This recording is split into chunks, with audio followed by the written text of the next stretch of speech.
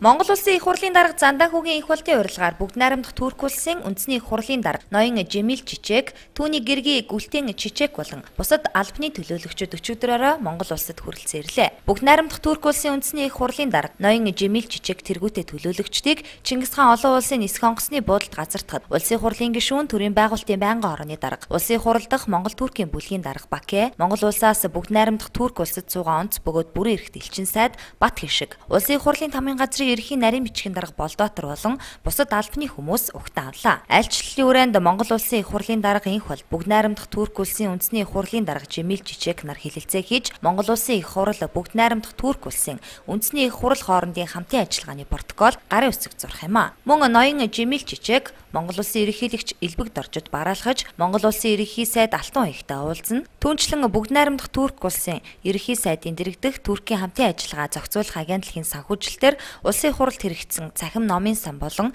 хэвлэх цехийн тоног төхөөрөмжийн шинжилэл төслийн нээлттэй ажиллагаанд оролцохын зэрэгцээ Өөр хангай аймгийн хар хорин сумд зочилж Эрдэнэ 100 орхны хүндийдэх төргийн үеийн хөшөө цайдам музей, бэсэрэг наадам үзэж сонирхох юм а.